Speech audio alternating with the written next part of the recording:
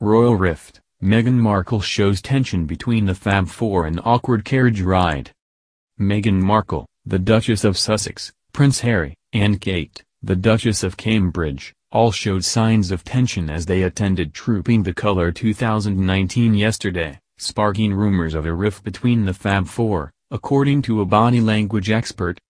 Judy James claims Kate's body language showed tension and a lack of relaxation. Meghan, who has not been seen in public since the birth of her son Archie Harrison, seemed relaxed and natural. The Duchess of Cambridge, 37, traveled along them all with Prince Harry, 34, Meghan Markle, 37, and Camilla, the Duchess of Cornwall, 71. Ms. James said that the group's appearance seemed less than natural, displaying signs of a row between the Fab Four.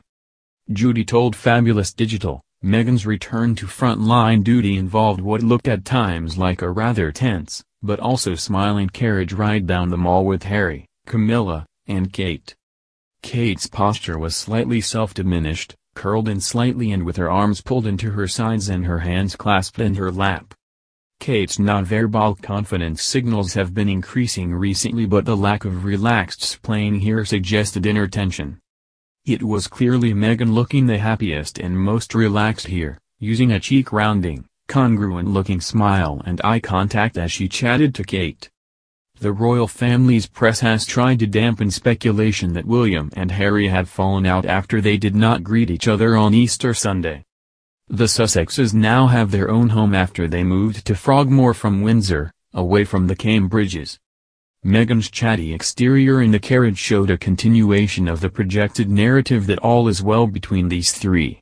Ms. James said, Camilla beside her looked uncharacteristically unsmiling as they emerged from the palace and Harry wore the slightly bland, enigmatic facial expression that has recently become his signature look.